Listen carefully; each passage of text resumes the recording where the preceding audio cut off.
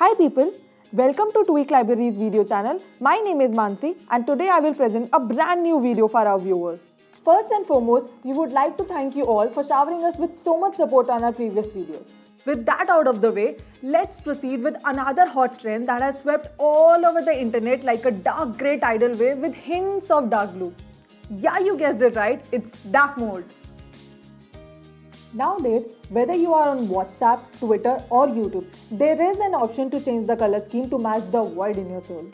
Jokes apart, the idea of seeing your favorite app or platform or service in dark mode is not only to reduce eye fatigue, but it also apparently helps in extending OLED battery life. And I personally believe that it makes look everything very cool. Even though various studies have shown that dark text on white background is the number one readable configuration. A lot is going around this dark mode feature. Several platforms have already received it while many are still working on it. So without further ado, let's learn how to enable dark mode on all the major platforms that is Android, Windows and Mac. So let's paint the world black. Now we are going to tell you how to enable dark mode on your Mac.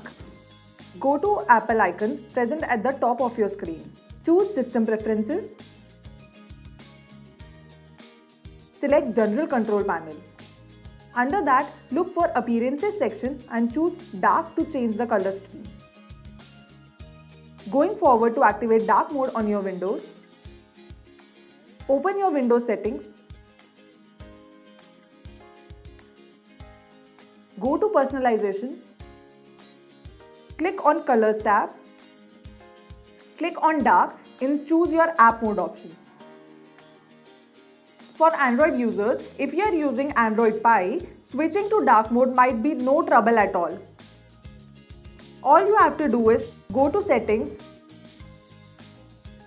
tap on display and then choose dark mode under device theme option.